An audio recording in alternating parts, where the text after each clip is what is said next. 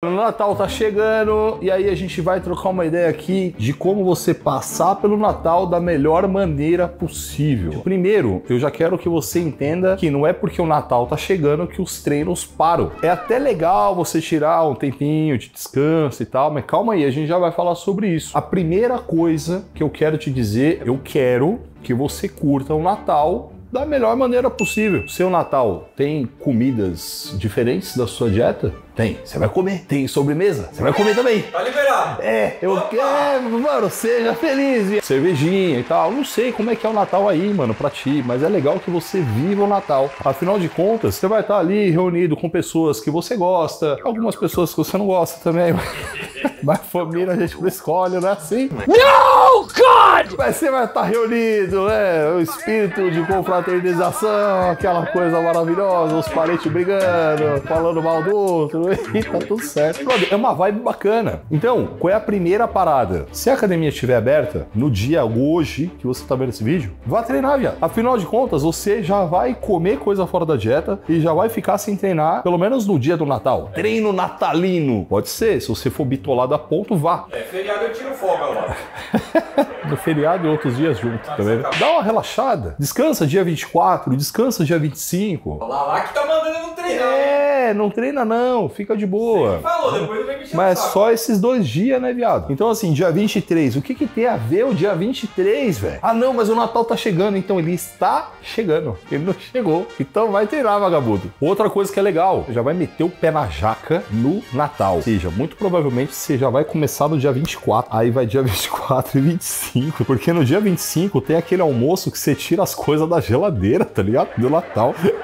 Eu sei como é que é. Dá aquela requentada nos bagulho, né? Tem aquele pernilzão, agora tá ali, gelado, esquenta no micro-ondas, né? Toma cuidado com as maionese da vida. Maionese pode dar BO. Então, isso já vai acontecer. Eu sei que vai. Então, dia 24 e 25 vai ser jaca. E de dia 24 e 25 você já vai zoar. Então não zoa antes. Essa é uma primeira dica que eu dou pra você. A segunda eu já falei, treine. Faça o cardio, cuide da água também. É importante tudo isso. Aí agora vem a parada bacanérrima. Dia 24, pré-natal, aquela parada toda, já tá todo mundo correndo, esqueceu de comprar os bagulho, aí vai no mercado, tá cheio, aí vai nos lugares que vende comida, não tem mais quase nada, e pega o que tem lá e tal, aquela correria toda. Possivelmente você tá nessa correria também. Se der, vá treinar, velho. Se não der, tá tudo bem. Falei pra você, pode descansar dia 24, 25, tá de boa, relaxado. Mas você vai começar a avacalhar é à noite, né? Então, durante o dia, coma direito. Sua vida vai acabar se você comer mal do começo do dia até o final do outro dia. Não, mas precisa disso. As lombrigas estão tão aguçadas assim. Então, se alimente de forma normal durante o dia. Beba água. Eu quero que você curta o Natal, mas eu quero pelo menos mitigar os prejuízos que o Natal trará para o seu físico. Aí vem a dica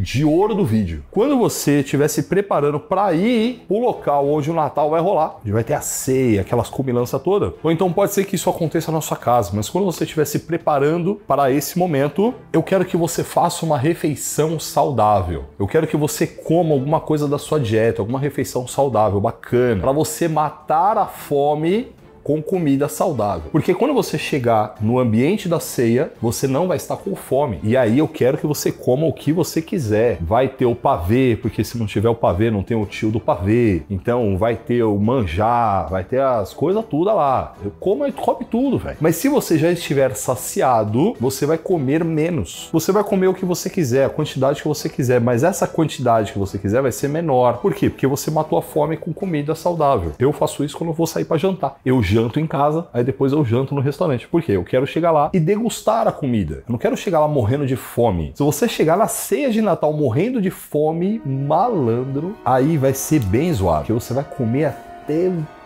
fazer bico. E isso não é bom para você. Então, faça uma refeição bacana em casa, ou então antes da ceia. E aí, quando chegar o momento da ceia, você vai comer ali relaxado, coma à vontade, coma sem culpa. Se você tá com o físico zoado agora, não vai ser a ceia de Natal que vai deixar mais zoado ou menos zoado. E tem uma dica que você pode aplicar aí durante a ceia que vai ajudar bastante. Dê preferência para alimentos que tem mais proteína. De preferência, proteína magra. Peru é legal, proteína pra caramba, No né? Natal você não tira o peru da boca. É, mete o peru na boca. Tender, hambúrguer também é legal. Vai para aquelas paradas que tem mais proteína. A proteína vai te dar mais saciedade. E sem contar que, mano, pra proteína virar gordura é muita treta. Então, a menos que você coma proteína com muita gordura, né? Evite gordura, mas coma se você quiser. Mas não precisa se esbanjar.